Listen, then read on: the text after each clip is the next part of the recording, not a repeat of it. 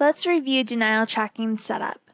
Currently, if I went to Utilities to Role Setup, there are no specific privileges tied to denial tracking, which means anybody has access to it. We can go to Master Files, AR Control Center, Denial Tracking Action Codes. This is the same setup as what we did in the collection action codes. You would create an action. We might want to tie a next action code to it. And then the follow up days. Do we want to follow up on this immediately in one day, two days, three days? And then I can click save. We can go ahead and close this screen. If anybody is currently working in the denial tracking, there are no reports to identify what actions they did or how many patients they touched. To view the denial tracking, we can click on modules, hover over AR Control Center, and click on denial tracking. The top part of this screen is our search by filter options. We can search by user, payment reason, carrier category, carrier, date range, last action, or follow up action.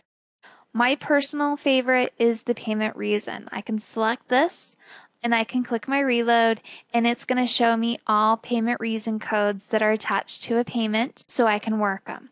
You could also get really specific and do a payment reason code, maybe like DENI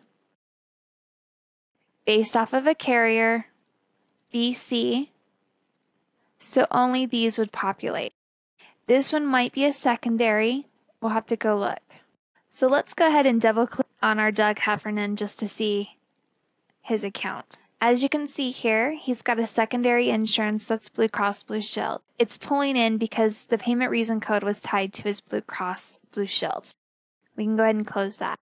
Back at this screen, we have all of our reasons. And then down here, we can see how many line items we have, how many patients we have. And then it, again, it's at 50 pages. It makes you scroll over to the next page, a maximum of 500. We can view how much of total insurance payments are out there to collect on. So these accounts may have been written off at our $0 level, which we'll go into later to show you that. Um, you have the option of writing off the account and still having it pull into the denial tracking to be worked. We can highlight a line item, select it, and click our view detail, but I'm a double clicker, so I'm going to go ahead and double click on the line item to pull it in. The concept with this is you actually want to have your first patient up. I've reached the beginning of the list. I'm going to click cancel because I don't want to start from the end. This is my first patient they all had the same denial reason. So my hope is is that as I'm working these, I'm on the phone with the insurance carrier or I'm online with the online claim status. I'm identifying the issue and hopefully I can work all six at the same time and get them knocked out. Screen is exactly like our collections module. However, we do not have our statement payments here.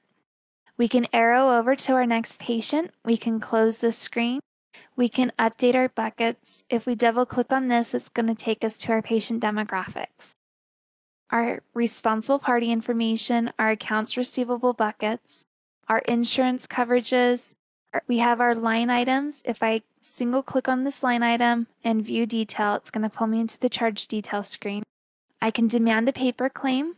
If I select show all, notice I have four line items here, including my payments and my write-offs. This was the line item that has the payment reason code tied to it. If I click on show all, it will now show me all line items associated with this patient that's outstanding. If I did show single, it's going to take me back to the line item that had the payment reason code tied to it. We get our history grid here. If we have more than so many per line, we can arrow over to the next history screen. We have our blue scrolly bar, which takes us over here so we can view our payment information. We have our visit number, which tells us our total visit charges, our procedure code, which tells us our diagnosis codes and modifiers. The B and the I are wrong on this. So again, this is the I column and this is the B column. Just remember that. Hopefully it'll get fixed soon. From here, we can click on our actions and we have the same setup as we had in our collections. Call in, testing. We're going to click save. And it's telling me that I need a future action. So I'm going to do my rebill claim later. In order to keep my account on the denial tracking, I need to have a next action tied to it. So let's do this and say we want it off of our denial tracking. We come in here, we've reviewed our account, and we called the insurance carrier, and the check is on the way. We may decide that we do not want to keep this on our denial tracking because we know that the check's coming. We can go ahead and click our save button, and it's going to say saving an action without a follow up action removes the payment detail from the denial tracking system. Do you wish to save this action? I'm going to go ahead and click OK. It's going to prompt me one more time just to make sure that I'm completely aware of what I'm doing. And it's going to say, no follow up action was set, which will result in this account being dropped from the work list. Click OK to continue or cancel to return and add next action. When I click OK, this patient will now be removed from my denial tracking list. I can then go on to my next patient. I can either work it from here or go back to our charge screen and view it from here. The concept is I'm going to keep working it until they're paid off in full or until I've verified that everything is clean on them. I can go to my action history to view all action that has been created on this patient. I'm going to go ahead and close this screen. I'm going to close this. To show you how this ties in, we have our patient up here. We're going to go to our transaction entry. We're going to select a payment. Payment reason codes can be tied to either a patient or insurance portion. So I'm just going to put in my money here, my check number. I'm going to do oldest to newest. There it is. I'm going to click on my gray box and select my payment reason code. If you have questions on how to use this screen, please view the patient billing video trainings. I'm going to just create a code, tie it to it so you can see how this works. I'm going to click add.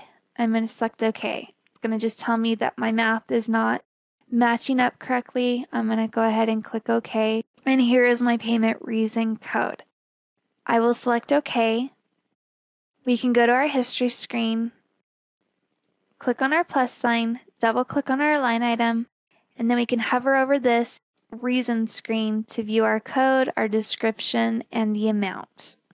But what it means is that now it's tied to a payment reason and so this visit will populate in our denial tracking.